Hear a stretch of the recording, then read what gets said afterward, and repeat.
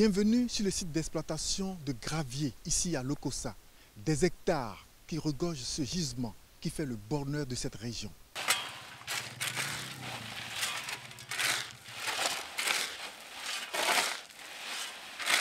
Ces ouvriers partent toute leur journée sur cette carrière. Yabavi n'a pas le temps de rentrer s'occuper de ses enfants. C'est ici, sous cet abri de fortune, qu'elle les dépose, pendant qu'elle travaille sous le soleil. Comme elle, ils sont nombreux à faire le job. Ils travaillent pour ce qu'ils appellent appétant, c'est-à-dire le patron. Lucien est l'un d'eux. Euh, tout tout ban bon planning euh, au planning appel grillage appel pelle appel jiga donc king bay bon nous que le veut dire d'orvier là parce que agbeto là et y a une ressource à deux donc au sort d'or nous confier na king bay azo patron et nous blâmer patron patron patron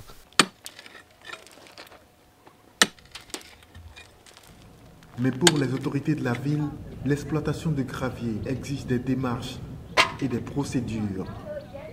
L'exploitation des ressources minières sont réglementées par les tests. Et pour un exploitant qui veut euh, ouvrir un site de carrière, il y a des processus, c'est tout un processus. Il saisit le maire pour avoir l'occupation du site. Et pour, que le maire lui donne l'occupation du site, il y a les agents de la direction de services techniques accompagnés des agents des cas de vie qui vont sur le, lieu pour voir si c'est possible qu'on lui donne l'autorisation. C'est après ça là que le maire donne le certificat d'occupation du site. Et ce certificat fait partie des dossiers qu'il va envoyer à la direction des mines pour avoir l'autorisation temporaire d'exploitation de, carrière. Mais malheureusement, ce n'est pas respecté. La procédure n'est jamais respectée par ces exploitants. Ils sont plusieurs à extraire les graviers sur ce site. Mais les autorités n'en connaissent que quelques-uns.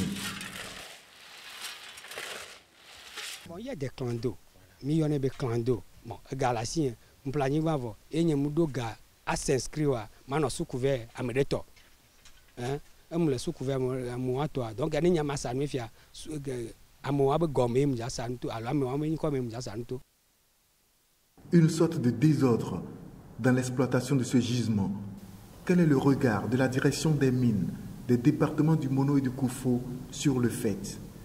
que eux tous n'ont pas l'autorisation. Ils n'ont pas tous l'autorisation, mais ceux qui ont eu les autorisations ont dit, on dit, les autorisations sont déjà périmées. Et ils doivent reprendre.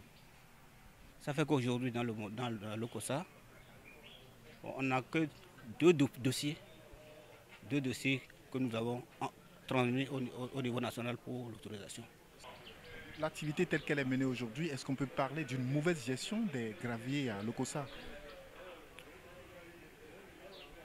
Bon, oui et non, parce que, puisque, oui, parce que nous ne sommes vraiment pas en règle vis-à-vis de, de la loi. Non, non, oui.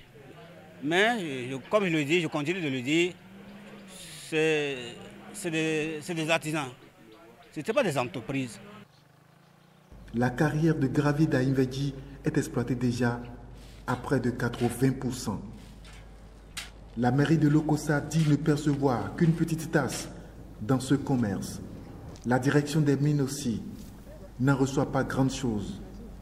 Les ouvriers rencontrés sur le site se plaignent eux oh, aussi parce que mal payés. Aujourd'hui, le gravier est finissant ici sur le site d'Adiakome. Depuis plusieurs années que cette activité se mène, à qui a-t-elle profité réellement? Une grosse interrogation.